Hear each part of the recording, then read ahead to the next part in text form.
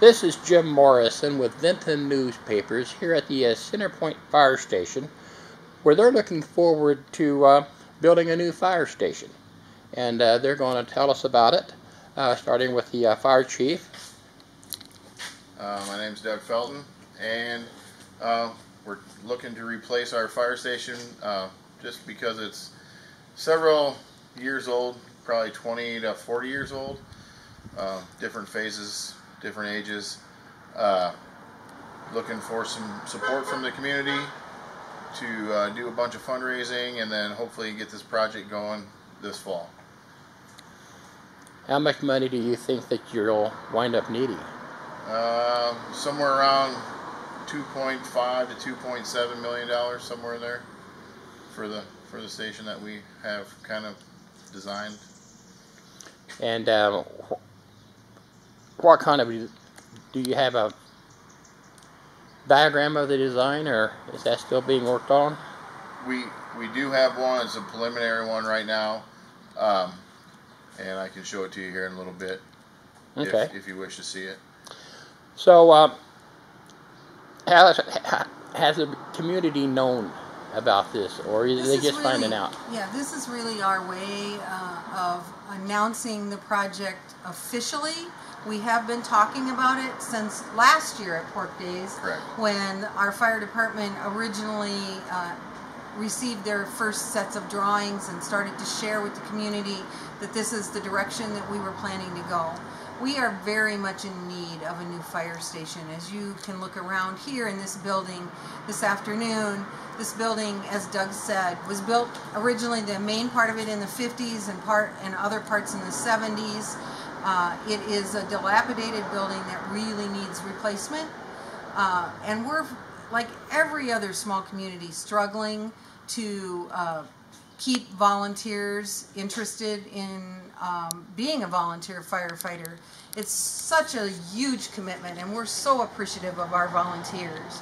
And yeah, we really want this not only because we need to have it for safety reasons for our volunteers and for service reasons for our community, but also to help attract additional volunteers. We're currently short, what, Doug, eight? Eight. Eight volunteer firefighters, and so, you know, it's, it's a challenge for every community.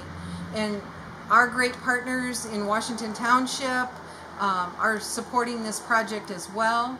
And we service, of course, all of Washington Township with this fire department as well as the city. So what are the deficiencies of the building, or, or what maybe maybe better is what do you want in the building you want to build?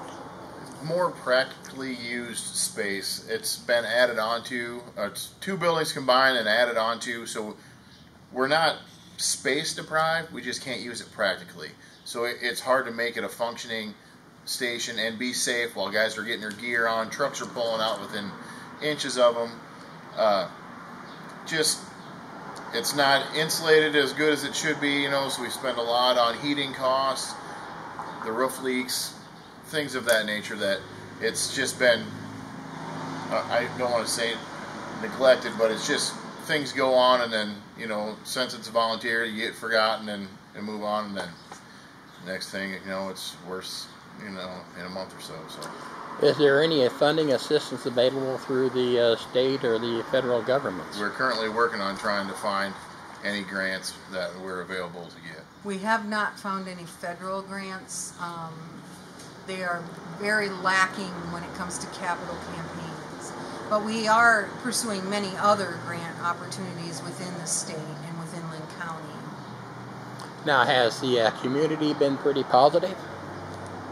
Doug, you were saying yes. you've heard a lot of co positive comments. With the drawings we put out at each one of our functions, uh, I've not heard one negative comment about it at all. Uh, you know, we haven't told anybody a price or anything what we thought it would cost, but everyone's on board saying we need a new station.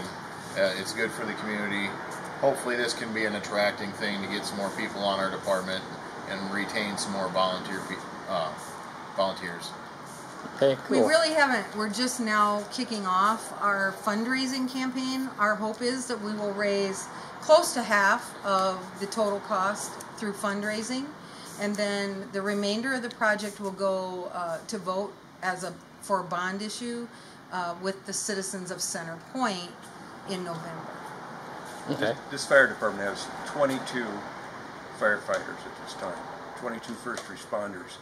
That covers about 29 square miles, over 1,100 households and farms, and over 3,500 people. So they're the first responders for all those households, all those people.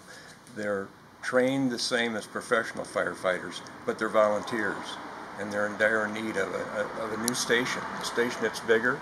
Uh, most people rea- don't realize that the fire trucks are bigger than they used to be.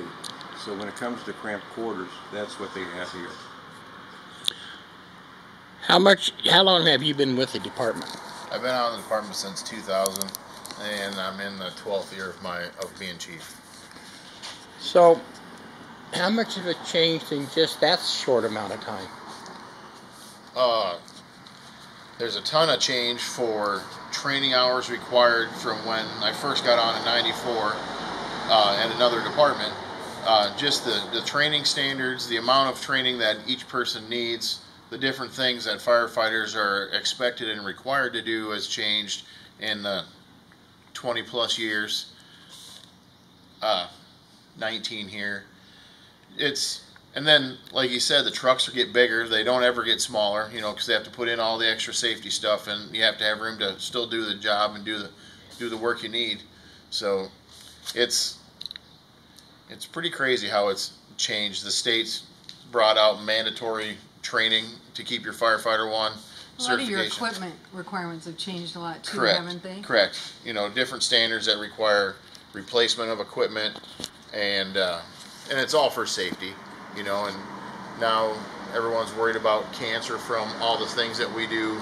You know, and we have to make sure we wash everything and and just change the way you go about things now compared to what it was 19, 20 years ago.